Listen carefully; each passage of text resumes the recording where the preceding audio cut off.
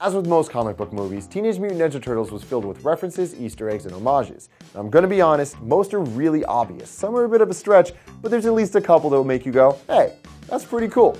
Let's start with some Easter eggs. Not only were the opening titles of the movie based on the look and feel of the original comics, some of those frames were actually drawn by Kevin Eastman, one of the co-creators of the Turtles. Awesome. When Vern gets called by April, he's seen making a mustard and Parmesan cheese sandwich, just like Will Arnett's character on Arrested Development. And there's a George Michael song playing in the background. I see what you did there. When April tells the story of her encounter, her boss asks, So they're aliens? To which April replies, No, that's stupid. They're turtles. Is there anything else we should know about them? They're ninjas. This is an inside joke to the fact that this movie was originally going to be simply called Ninja Turtles, with an alien origin story. But due to fan backlash, the Teenage Mutant aspect was thankfully added back in.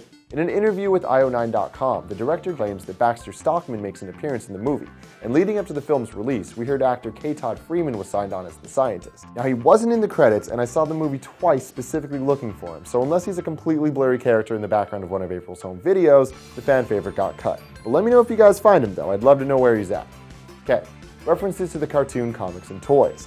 Sacks jokes that they were going to use rabbits for their experiments, which is a fun nod to Usagi Yojimbo, a comic rabbit noted as inspiration for the TMNT. Shredder didn't say much in the movie, but thankfully he did give his classic line. Tonight I dine on turtle soup. Of course, we also got the requisite cowabunga, and not one, not two, but three callbacks to the classic Turtles theme song. One, the Turtle Van's horn is the song's melody. Two, at one point Vern asks if they're heroes in a half shell. And three, the actual song is playing in the background on one of Donnie's computers. Mikey's rocket skateboard was probably the biggest surprise to me, of course based on the classic toy line accessory.